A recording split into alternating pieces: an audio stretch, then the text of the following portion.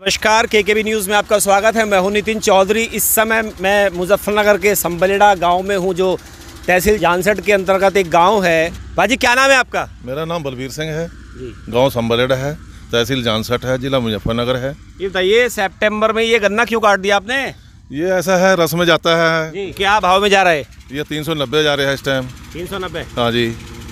अच्छा। तीन सौ नब्बे रुपये करना जा रहा है इस टाइम और सरकार तो वही लेगी तीन सौ पच्चीस रुपये लेगी पैसा मिलता आठ महीने बाद मिलता है अब हमें कैश पेमेंट मिलेगी इसमें। अच्छा। तो हमें क्यों हम क्यों देंगे सरकार को? हम तो इसमें इसमें इसमें बेनिफिट है? इसमें ज़्यादा बेनिफिट है। इसमें एक फ़सल और लेंगे हम इसमें बीच में।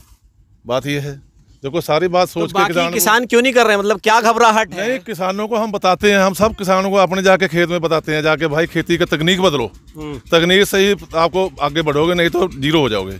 जैसे सितंबर है। ये गन्ना तैयार हो चुका है पूरा। गन्ना पूरा साल कोई। एवरेज में कोई दिक्कत? नहीं कोई दिक्कत नहीं है। कितना निकल सकता इस टाइम सत्तर क्विंटल बीघे का गन्ना निकल रहा है हमारा। सत्तर निकल जाएगा? सत्तर निकल रहा है।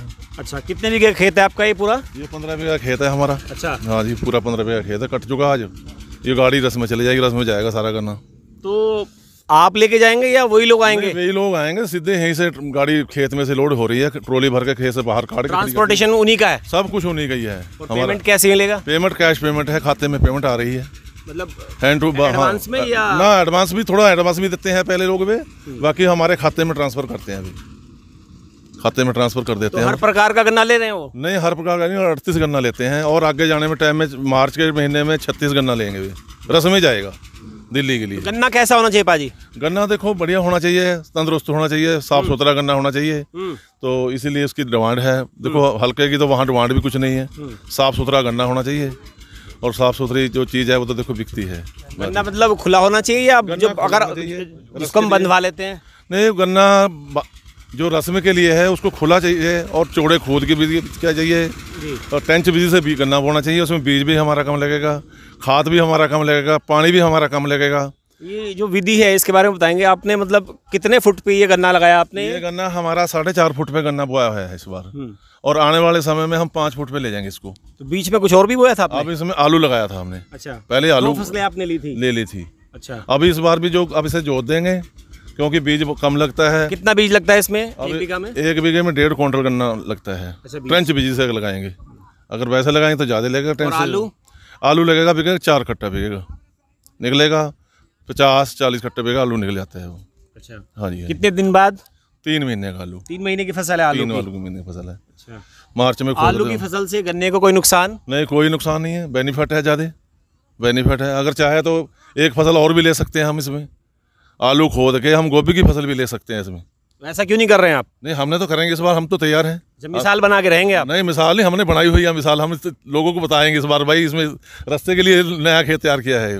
भी लोग जाते जाते देखेंगे इसके। आलू आप एक तरफ़ लगाते हैं इस बेड में या दोनों तरफ़ लगाएँगे। अच्छा दोनों तरफ़ लगाएँगे। दो लाइन आएँगी दोनों नो दो लाइन आएँगी इस पे। दो लाइन आएँगी बढ़िया आलू होता है बढ़िया फ़सल होती है कितने दिन पानी लगाना पड़ता है?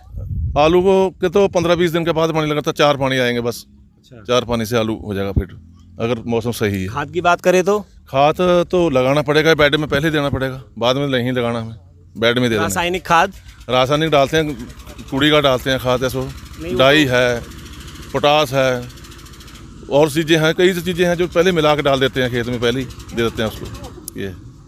तो क्या संदेश देना चाहेंगे आप किसानों को? नहीं हम किसानों को यही संदेश देना चाहते हैं कि इसी को फ़सल को बो इसी विधि से बो ज़्यादातर। इसी में बेनिफिट है, दूसरे में बेनिफिट कम है। तो ये थे हमारे साथ, बलबीर जी, इन्होंने अपनी बात बताई कि अगर हम परंपरागत तरीके से खेती करेंगे तो उसमें हम ठगे जाएँगे, लेकिन अगर हम अपना तरीका बदलते हैं, नया काम है, किसान रिस्क लेने से घबराता है, अगर हम रिस्क नहीं लेंगे तो हम वहीं के वहीं रह जाएँगे। अभी तक दो फ़सलें उगाते थे, इस बार तीन फ़सलों की इनकी तैयारी है।